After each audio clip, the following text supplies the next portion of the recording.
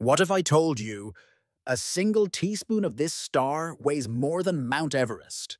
Wait, a teaspoon? Yep. Not a truck. Not a skyscraper. A tiny spoon.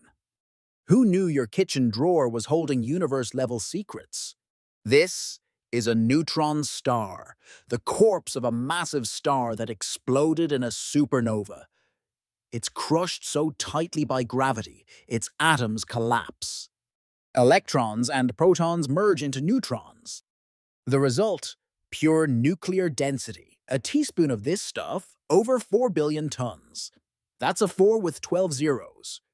That's like dropping a mountain on your foot, except the mountain is invisible and your foot no longer exists. And here's the kicker. It doesn't just defy imagination, it redefines what's possible.